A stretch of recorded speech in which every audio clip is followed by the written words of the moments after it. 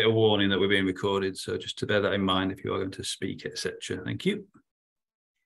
Great. Uh, thank you very much. And uh, thank you very much uh, for everybody who um, has joined uh, or who is in the process um, of joining. And this gives you an idea of our agenda for today.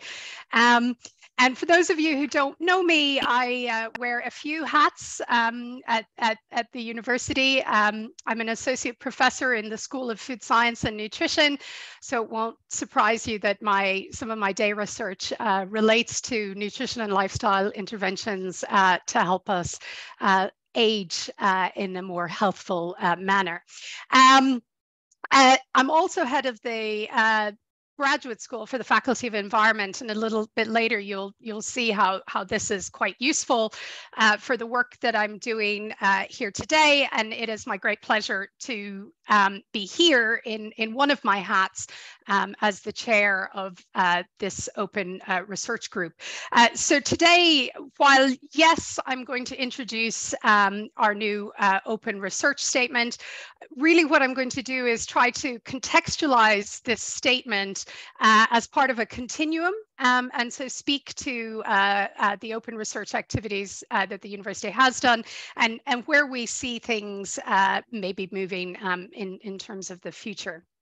Um, so a, a, key question on, on any sort of vision and strategy uh, journey is why, and, and many uh, people believe that whenever you set about doing any sort of task, you should start um, with the why. Um, and we actually found this um, quite easy to write, uh, and the why is, is the last sentence uh, in our statement. So fundamentally, we believe that an open research culture will increase research quality, increase research reach and reproducibility. We believe open research and an open research culture will facilitate interdisciplinary and international collaboration. And ultimately, we hope advance knowledge um, and, and transform uh, lives. So another question could be, why now? Um, and in some ways, you know, uh, our guest speaker is is from the University of Reading, who was one of the first uh, universities to put up a research culture and uh, open research statement on their university. And if you're kind of impatient, you think, oh well, what have we been doing? Why are we only now putting on this uh, uh, statement?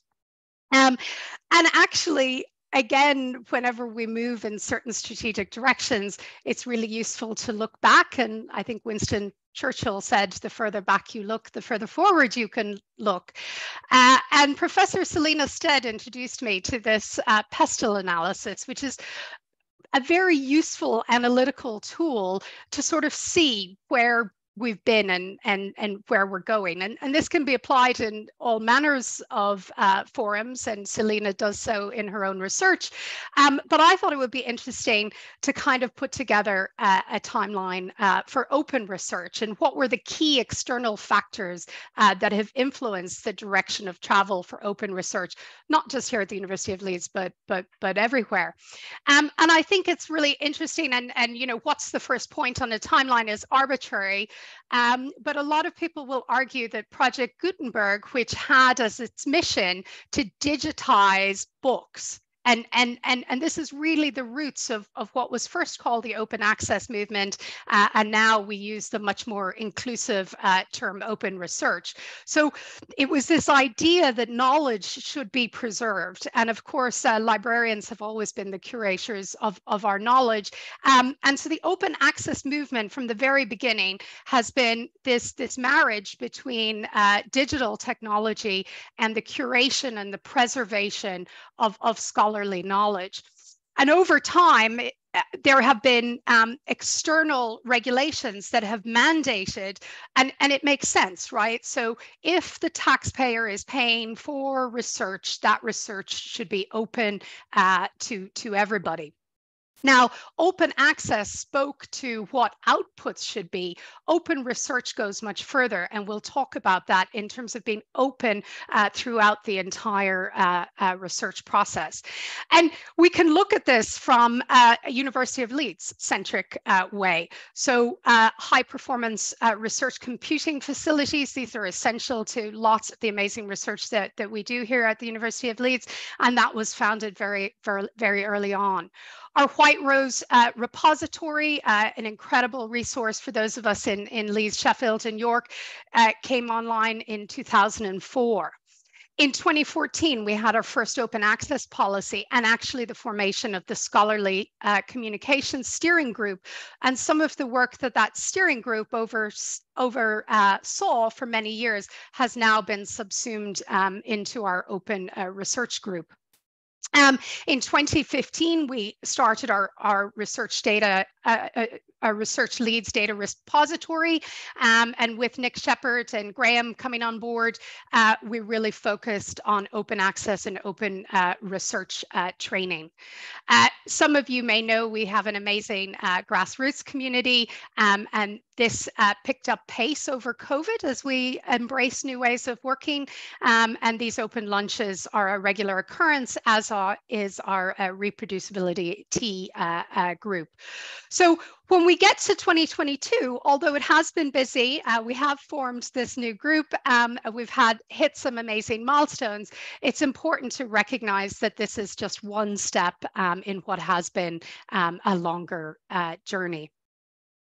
And the, the other part of the why now is related to a larger piece of work um, that is ongoing, which is to articulate our uh, research culture uh, strategy and vision. And what you see is that enabling open research practices is one of four pillars along with uh, embedding EDI, recognizing diverse forms of research activity and supporting teams that we see as being essential uh, to achieving um, our, our research culture vision, which is that more of our colleagues um, will produce uh, leading research and do so collaboratively, um, inclusively, openly, and sustainably. So we don't want people to do open research and have the platforms disappear and it not exist in, in another 10 years. Uh, so here's the group and I'm just honored and privileged um, uh, to work uh, with these individuals. Um, we have representation from across uh, the professional services, uh, key decision makers uh, from the library and IT and uh, professional development, as long along with representatives from each of our faculties. Um, so one of our challenges in terms of open research and in terms of deciding what's important is making sure that we speak to the breadth of research and different types of research activities uh, that occurs across uh, the university. And we also have representation uh, from some, some really fabulous uh, early career researchers. In terms of governance, um, so we sit alongside the metrics group and early career group and, and the EDI group um, under the research culture steering group, which is chaired uh, by Kat uh, Davies. And there's lots of interaction between these, these groups because our portfolios cut it across um, each other. Um, and here's where I've highlighted it becomes quite useful um, that I also uh, chair the uh, PGR development steering group for the university. And for instance, one of the ways that that's had an effect is we've been able to put um, an open research question into the PRES. So we'll be able to uh, look at uh, our trajectory uh, for providing open research uh, training um, over time. So it, was a busy year last year. Uh, we met for the first time in February. Um, we did both internal and external stock takes and envisioned success and um, challenges. Uh, March was a busy month trying to figure out how we would spend some very welcome Research England funding. Uh, and that funding has been used um, in a variety of different ways. Again, trying uh, to make sure we don't leave anybody else out. Uh, we, we funded some case studies. We did some scoping exercises of citizen science platforms um, and uh, platforms platforms called referatories. Uh, and we were also able to, to support some ongoing projects that we had uh, related uh, to, to um, uh, Wikimedia um, and, and carpentries. Um, through the summer, we also uh, got our drafted uh, open research statement um, through the, the appropriate uh, university governance uh, strategy. So our statement went live. So this launch event is a bit delayed. The statement has been live for a few months, um, but we were particularly keen uh, to invite Robert uh, here um, we became institutional UKRN members. Uh, this is thanks to a long-term strategic vision of Daryl O'Connor and Eike uh, Rinke, and that had been a, a, a, long piece of, of work, but it, it's coincided uh, very nicely. Um, and uh, our hub went live. And towards the end of last year, uh, what we focused on uh, was our um, prioritizing our strategic objectives and uh, action plan. And I suppose strategic objective, objectives are the how. So, you know, the how of what you're going to do. Um, and these were reduced from a pool of about 13 um, through an iterative uh, process involving the, the, whole group.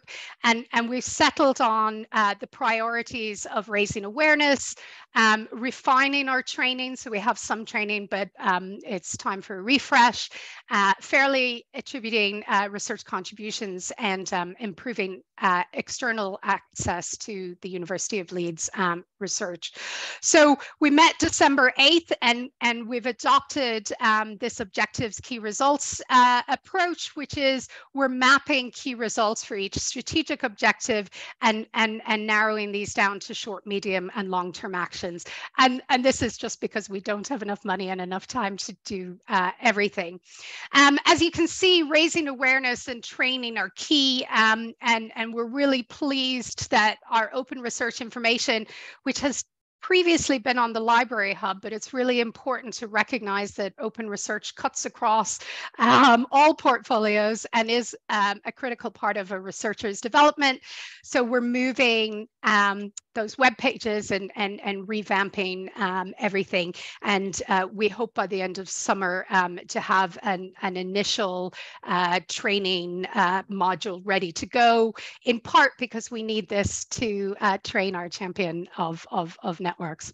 So now I'm finally at the what. What is this open research statement? And I think it's two things. Uh, the first thing it is, is a commitment. Uh, it is a commitment from the university to a set of actions to embed open research practices. Some of these we've been doing anyway, uh, but we are formalizing that this is is is key to to, to business um, uh, going forward. Uh, we want to improve improve our discoverability and external engagement, uh, training and development across all disciplines. This is a very interdisciplinary space, and depending on what discipline you're in, uh, your open research journey um, may be quite different. And promoting open research externally as as well as internally. The second thing the statement is, is an ask. Um, and what we're asking is all our researchers, and that's everybody from undergrads up, um, where possible, and we, we use that term where possible because we know um, that there are people who are working like myself um, uh, with organizations um, that have uh, intellectual property uh, issues or there might be patents on the line. So this is where possible. Where possible, we want people to prospectively register and share protocols and methodologies. And we want people to do this because we know it improves research quality. Uh, we want people to share software code and, and data sets because we believe in open knowledge and we know that when these things are shared, uh, the research goes uh, further. Uh, we want our researchers to use persistent identifiers and the appropriate licenses, licenses and to ensure that all our research outputs are open access. And last but absolutely not least, we want people to adopt the practice of engaged research. So this is engaging the public in research from the very beginning, if not quite co-producing research uh, questions. So not just getting a focus group right at the end uh, because it's uh, uh convenient. Um, the future is bright. I think our biggest challenge as a group is assessing all of the different technologies that are out there and are coming. And, and we have to do some um, fortune gazing to to, to see what tools are most needed um, and for which faculties. So uh, the needs of our social scientists um, and uh, the people in arts and humanity are likely to be different uh, from the, the, the needs of, of those of us who, who are in STEM. And before I introduce Robert, I just want to say some thank yous. Uh, firstly to our open research uh, group members and and this is uh, past present and those ad hoc members who've joined us um, when we've had um, just towards the end of last year, we managed to meet in person and we've had our uh, strategic meeting where some of our colleagues uh, from Open Education uh, joined us and, and their voices are, are very valued. Um, huge thank you to Daryl and Eike um, for the work that they did uh, to bring uh, our membership of uh, the UKRN. So this is the UK Reproducibility Network for anybody who doesn't know. Uh, we've now become institutional members, and this means that we're sharing best practices, and there will be some of those training facilities, modules that have been worked up by other universities um, that we'll be able to avail of.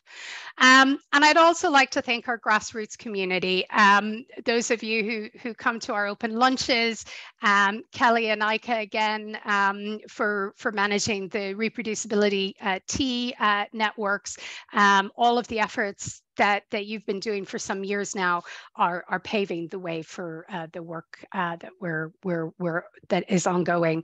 And if I could just make a plug, um, Nick Sheppard, who many of you will know as, as the face of some of our open research training uh, here at the university, um, is going to put into the chat the links to these case studies and the poems. So the case studies is a very long stream, so you kind of have to do a lot of scrolling, but we're going to sort that in terms of organization. But if you haven't heard these Wikimedia poems, um, there's an article about this project. Um, it's just a beautiful marriage of open uh, knowledge and open research um, because they it was led by two PGRs uh, and the goal was to create awareness of some of these open tools um, and the poems are just um, they're just a delight uh, so I, I hope um, that we can uh, get those uh, better disseminated. But with that from me, and we will have time for questions later, um, it's a great pleasure for me uh, to introduce uh, our, our, guest speaker, Robert Darby. So as I've said, um, the University of Reading was, uh, I believe, the first university in the UK to have an outwardly facing uh, open research statement. And at our last count, and this might not be completely precise, we were, um, I think, 22 or 23 when we got our research uh, statement out.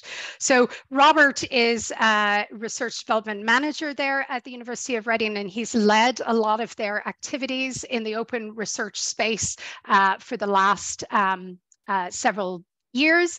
And um, he is going to hopefully make our journey a little easier by giving us uh, warts and all uh, perspective.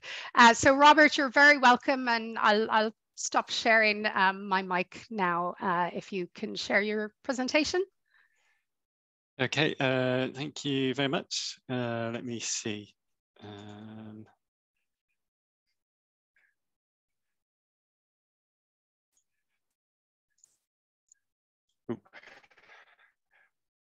There you go. Great. Thanks very much. Right. Can you can you see that all right? Yes, we can. Yeah, that's great. Well, thank you. Mm. Uh, right. Oh, hold on. Now we can see you. you lost that again. Uh, sorry. Did you press the wrong button or we can always do a uh, a Chris Whitty next slide, please, if you're struggling with it. Hold on a second. Um,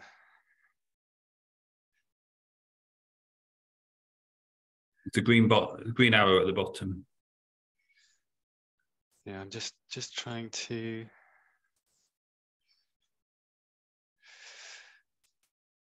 Uh, okay.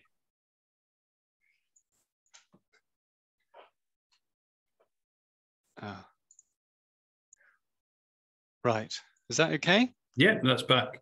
All right. Sorry about that. So um, so yes, thank you very much, um, uh, Bernadette, for that um, for that introduction, and, and to Nick for the for the invitation to to come and speak to you today.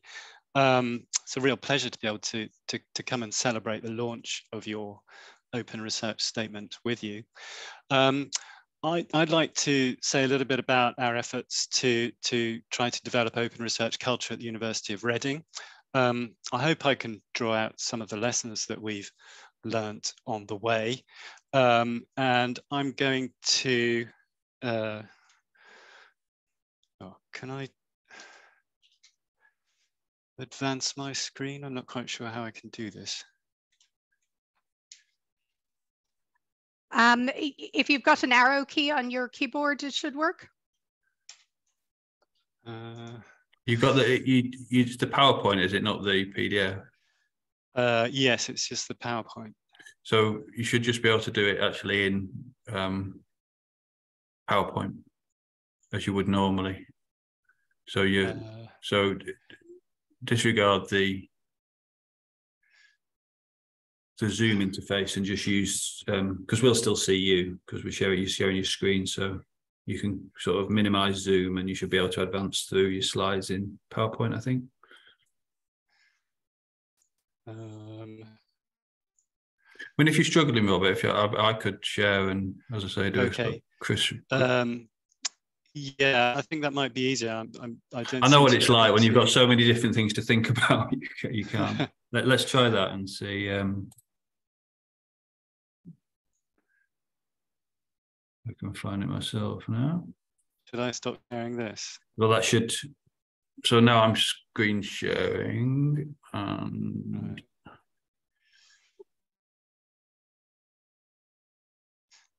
Said that now, and I'm doing the same. I've got that many damn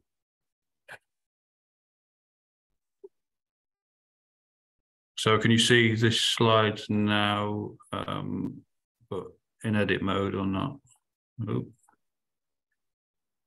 I'm struggling as well. The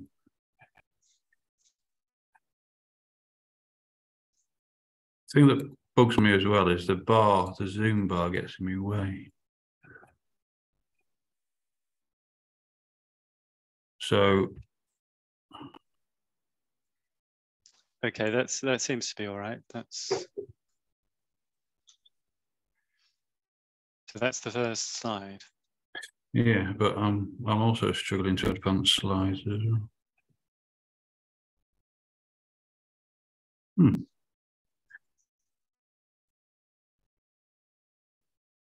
Done this before with no problem.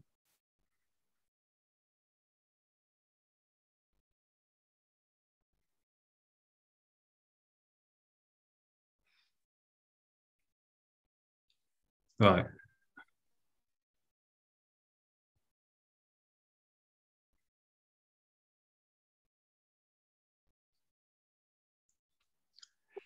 I did. Uh, I did in the setup slideshow. I did go to the kiosk mode. I don't know if that's.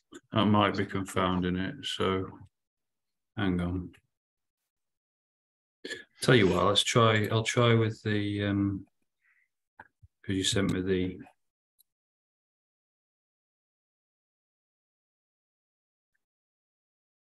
It doesn't seem to be advancing for me either.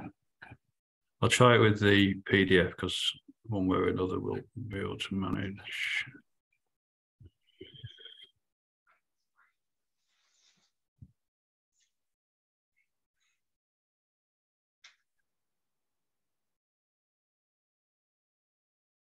All right, let's let's do it like that. That's is that working? Uh, yes, yeah, that's okay. So sorry about that, everybody. I'm not sure what was going on. It's always the way, but uh, so hopefully you can see slide. Right. Okay. Yes. So so we're on slide two. So so um, uh, I'm going to start back in back in 2016 or 17. So that's that's really when we began our open research journey. And I think our initial premise was was just as a university, we, are not open enough. Um, and beyond open access compliance, I think we saw very little evidence of open behavior um, among our researchers. I'd been in post as the research data manager for a few years at this point. Um, I guess was experiencing some frustration at um, a lack of awareness of research data expectations and low rates of effective data sharing. We had pretty poor attendance at open access and data management training. And generally, I think we're struggling to, to, to achieve traction with, with our researchers, we felt. Uh, I think it's also fair to say that going back a few years, open research didn't really occupy much space on the agenda for uh, the university's research leadership. Uh, next slide, please. So, um, so our open research initiative was was a response to, to those conditions, but um, not necessarily a very strategic one. I think uh, when we started, it was something that evolved as we engaged our stakeholders and, and developed more of a sense of purpose. Um, I think there were two broad phases really of, of the initiative. So in 2017 to 20, we were finding our way. We were engaging our research community at large and key stakeholders, uh, senior management, research managers, professional services. And our focus was really on communicating an understanding of open research, why we felt it was important, what it means in practice, and what people can or need to do about it. And we did also want to understand the perspectives uh, and the needs of researchers as well. How could we best support and enable them? I think from around 2020 or so, uh, I'd say we entered a phase of, of a bit more coordinated strategic activity towards creating uh, an open research culture. And this included putting into effect our, uh, our open research action plan. And that was a program of capacity building that, that was funded for the years 2021 to 23. Uh, next slide, please. So um, I don't know if you can see this very well. This slide um, highlights some of the milestones in the last few years, and I'll just mention a, a few a few things here. So in 2017, we organised uh, an open research themed conference for our university community. We called it Open in Practice. So that was the first attempt to, to start the conversation about open research within our research community. Uh, this led to a phase of consultation uh, with our stakeholders from which our open research statement uh, emerged in early 2019. And off the back of that, we developed various communications activities. We had a second conference. Uh, we ran an open research award competition, uh, which we also ran again again in 2021. Um, also in 2019, a committee for open research and research integrity was formed under our new PVC for research and a commitment to uh, build a culture of open research was included as one of the objectives in the new, uh, the university's new research and innovation strategy. Um, we joined the, the UK Reproducibility Network in 2020, which I think was, was, was another significant event for us. Um, and later that year, funding um, was approved for our, for our open research action plan, which we launched in 2021. And that included an open research champions program, which I'll say a bit more about later. Um, at the end of that year, Research England uh, awarded four and a half million pounds to UKRN and 18 universities, uh, including Reading, for what's called the Open Research Programme. And that's a five-year project uh, to accelerate the uptake of open research practices across the sector. Um, and then this year, our university formed a working group to implement responsible researcher assessment, uh, including open research criteria in our recruitment and promotion frameworks. And this also led us to become involved in establishing a working group that's part of the UKRN's open research program, which is aiming to develop a toolkit to help institutions implement uh, responsible research assessment practices that, that include recognition of open research. Um, that working group is called, this is a bit of a mouthful, the Open and Responsible Researcher Reward and Recognition Working Group. And uh, I'm sure you can understand we call it OR4 for short. Um, so I think that gives us um, a bit of a sense of how things have evolved over time, how our coalition has grown, both within the university and also um, as part of wider sector networks. So I want to go on to talk about some of our experiences now. So if we could go to the next slide. Um, so I mentioned our open research statement that was published at the start of 2019. Um, the idea was to broadcast a commitment to the principles and aims of open research, to tie together existing policies on open access and research data, and to encourage researchers to, to adopt open practices in their work. We provided um, supporting information to help researchers understand what we meant by open research, how it's relevant to them, what they can do. Um, so we developed an open research handbook, a sort of detailed practical primer. Uh, we published a series of open research case studies, uh, very much uh, along the lines of, of what Leeds uh, have been doing. So examples of staff and students who've used open practices in their work. Um, I'm sure you're aware uh, a number of universities have released statements along similar lines in the last few years, um, and, and, it's great to see Leeds join this club. Um, there's a snippet on this slide from uh, a very handy blog post by, by Nick Sheppard, which collates the statements on open research put out by UK universities. Um, and that gives a sense of you know how, how many have have um, followed this path. And i think these statements they are a very useful way of signaling institutional commitment they provide a point of reference that can be signposted to researchers. And the process of developing uh, a statement and communicating and embedded it um, embedding it i think it's also a means of engaging stakeholders and developing buy-in. I'm sure you found that's that's been the case at leeds. It's still, it still is only a step. And i think the challenge of actually actually changing research culture is a very complex one. Um, could we go to the next slide, please? So I just want to mention here this 2018 paper by the League of European Research Universities. We found it very useful at Reading.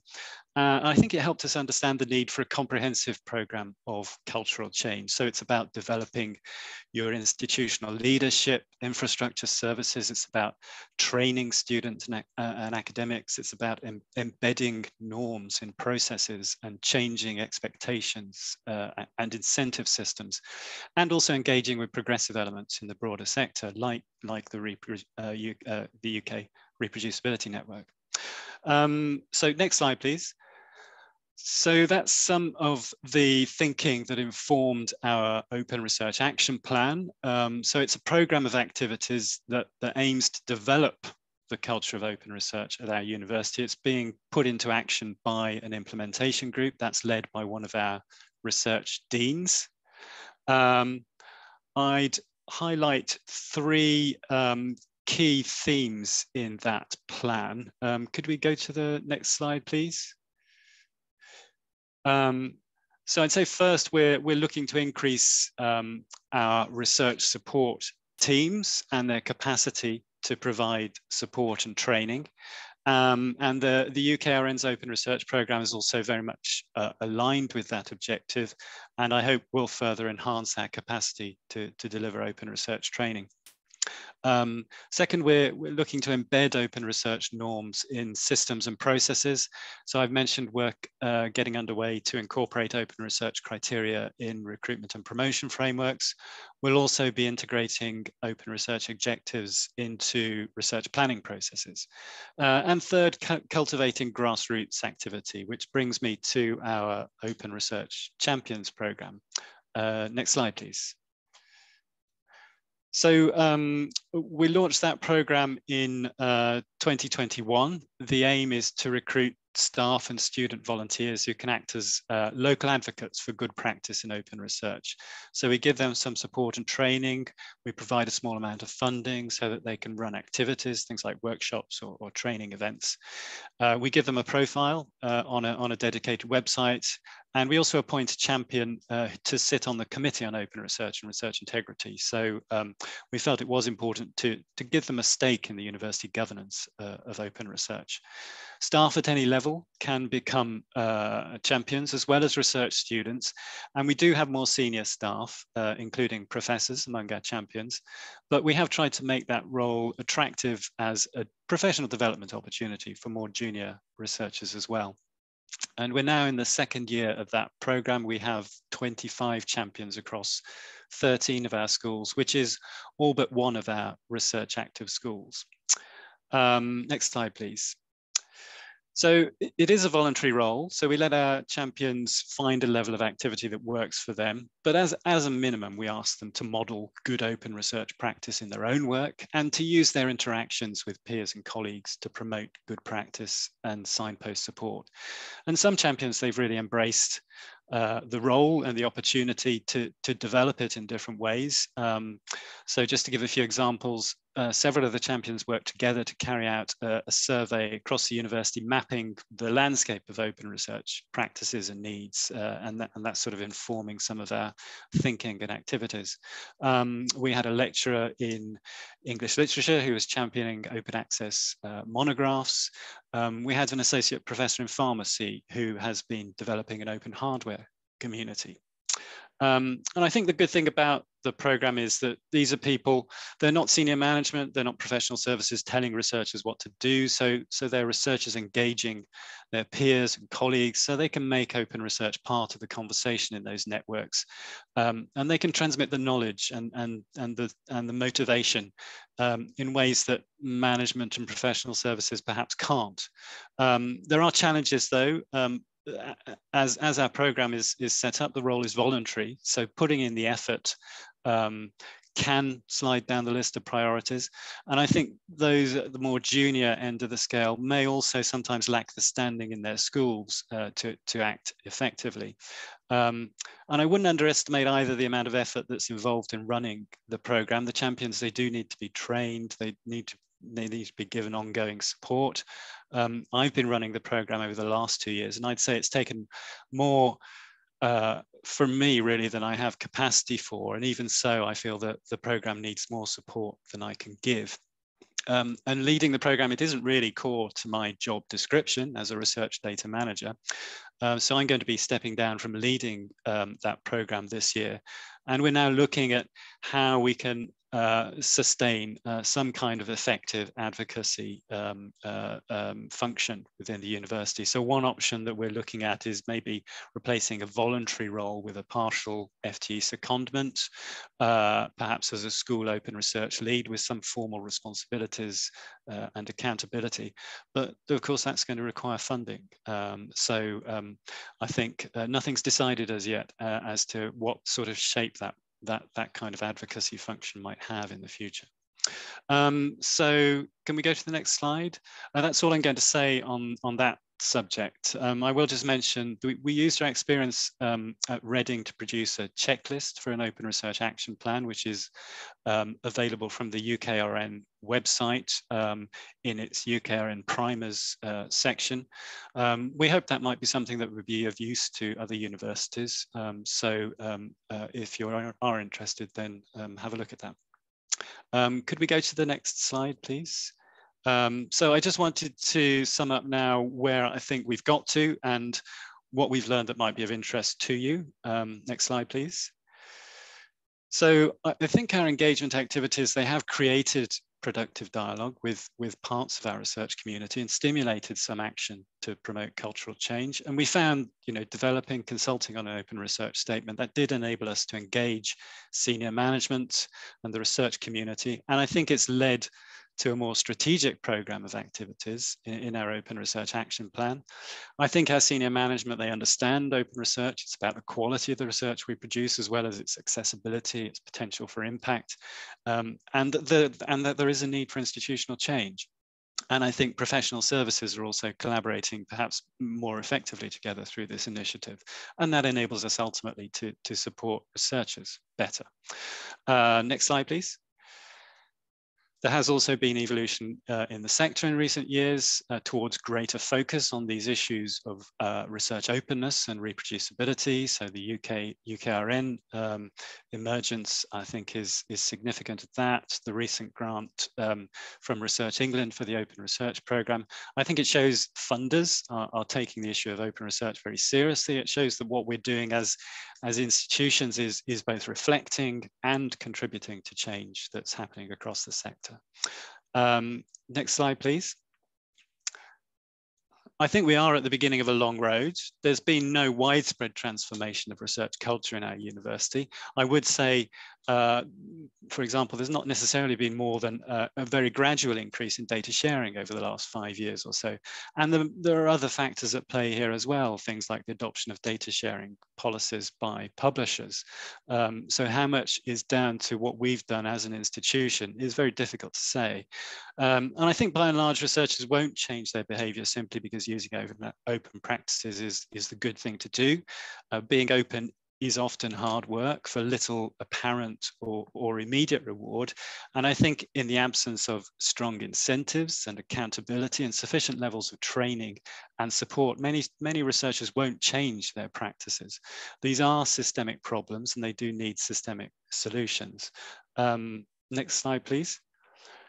Um, I think this blog post um, puts it very well. It's from Lizzie Gadd, who's a research policy manager at Loughborough. I'm sure many of you will, will know her uh, and know of her. I think her argument here is, is basically if we want to see significant change in uh, practice, we need to operationalize open research expectations in the systems and processes by which research is institutionally produced and managed. And we need to develop uh, the incentives. Um, I'm, could we have the next slide, please? Uh, I will share the um, slides afterwards. Yes, Nick, Nick does have them. So, um, so we can share the slides and some of the links as well. Um, so um, I mentioned earlier um, our working group to implement um, open research criteria in recruitment and promotion frameworks. And the UKRN's um, uh, project to develop a toolkit for institutions planning to reform their assessment policies and procedures. And I do think that's absolutely necessary work that all institutions will need to undertake in the forthcoming years. I think the publication last year of the agreement on reforming research assessment is a really significant milestone here. Universities are being asked to sign up to the agreement and, and to join the coalition for advancing research assessment. And this involves committing to a reform of their research assessment systems and processes. And openness is recognized in the agreement as being integral to the practices um, by which research is conducted and communicated and validated. Um, and it's identified as a, as a key dimension of research assessment. Uh, and next slide, please. So I'm just going to sum up very quickly what I think we've learned at Reading. Um, first of all, what is at issue here is cultural change. So this is a massive effort which has to take place on multiple fronts with the collaboration of multiple stakeholders, uh, and it's going to take time. It, it, it requires leadership, strategic vision, investment, and long-term commitment. Uh, second, I think it takes time to develop that shared institutional understanding and to build the coalition of stakeholders um, who will drive change. Uh, and that coalition needs to involve senior management, relevant professional services, and of course, members of the research community. Um, third, we need to embed open research norms and expectations in the processes by which research is undertaken uh, and by which it's managed and evaluated. And in particular, research assessment frameworks need to develop to include open research criteria. Um, fourth, you have to be a supportive partner to the research community. You have to enable researchers to take ownership of the problems and the solutions to the problems. Uh, and we hope, for example, uh, this is where our Open Research Champions program can make some kind of contribution. Um, fifth, universities need to invest in support and training. I think it's always really hard to make the case in universities for expanding professional services, but I believe we do have to make that case. If we want researchers to have the knowledge and skills to use open practices, then we have to invest in the services and provide the training and support.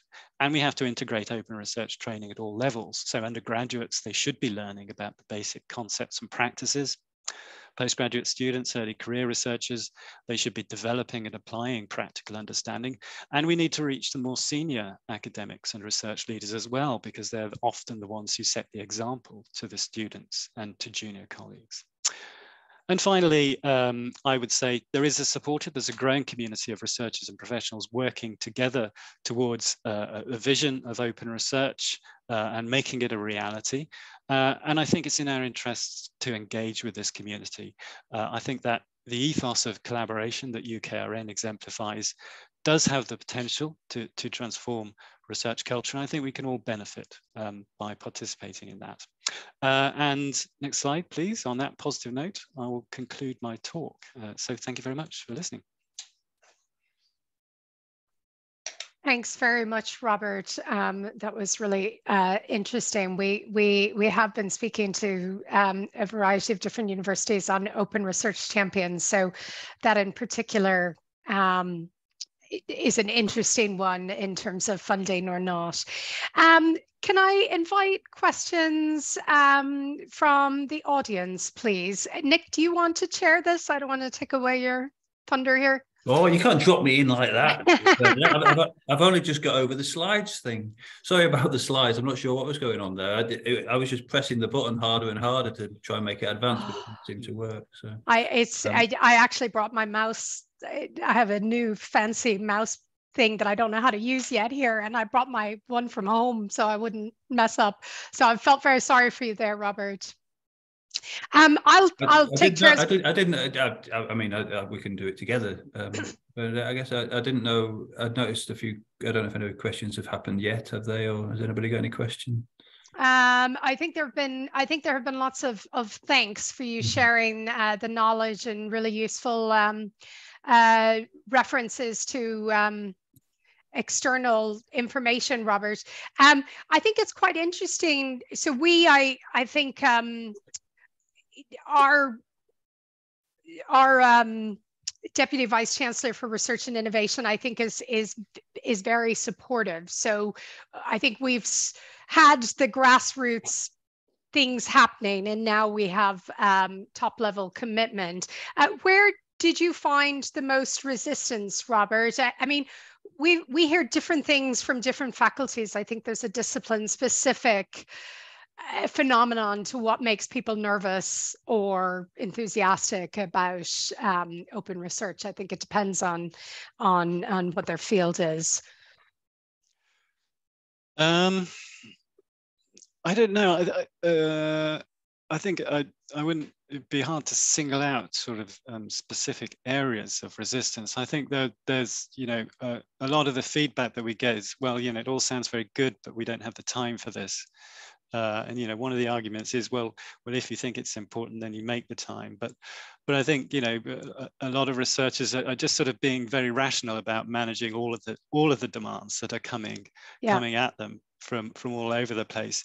And I think, you know, be, because if you don't if you don't adopt the open research practices, you don't necessarily suffer um, uh, any any particular adverse consequences. Um, and because the incentives are not necessarily always that that strong it's it's it's um, uh, other things will take priority very quickly uh, and you know it's it's hard for researchers to to to put in the sustained effort i think that it takes to to actually change practices. And there's um, so many different platforms you know knowing where to get started.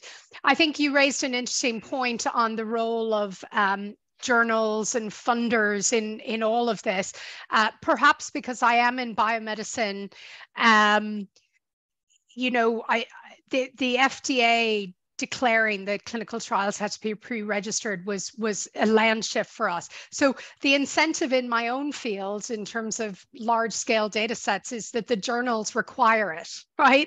So so um, open access and open data has been part of the genomics community for going going back some years, but it is 100% an incentive because you look at what the best journals require to publish and it is a lot of these practices um, but that's not true in in all fields. And um, we've been looking at um, author taxonomies and i was surprised that they weren't required by every journal because most of the ones that i publish in uh, this is part of the process. Um, but that isn't isn't true uh, everywhere. So I, I think journals have a lot of power. And interestingly when i talk to colleagues my age and older some of the resistance I hear to open publishing are from people who are editors of journals and who who feel very strongly about the utility of, of, of peer review and are very nervous about preprint servers and uh, very nervous about predatory journals. So I think I think the education piece of, of explaining how broad open research is um, uh, is important. That it's it's more than open access, isn't it?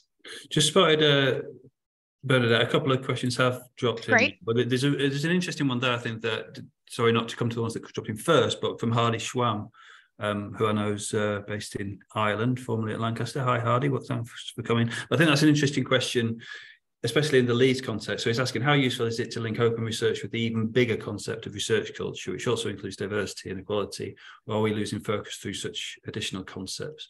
So, I mean, just to preface that with, I mean, certainly Leeds very explicitly um, includes open research in research culture. I'm not sure if they, if you do quite quite so explicitly at Reading, Robert, or not, and if you've any thoughts on that question from Hardy.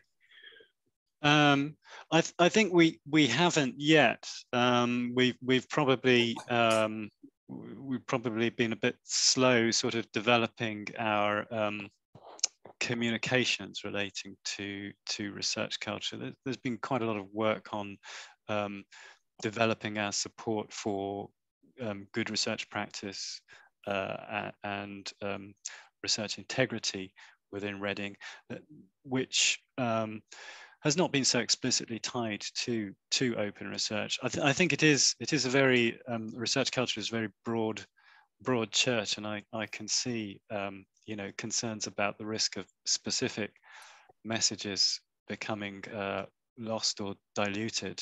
Um, um I I think you know I, I think open research um, it, it, you know being transparent with um, your research processes and your research communications is is tied to research integrity. And I, th and I think it makes sense to make those those connections at the level of you know broad principles but but the you know the the support and the communications also have to be focused on specific practices and practical actions as well.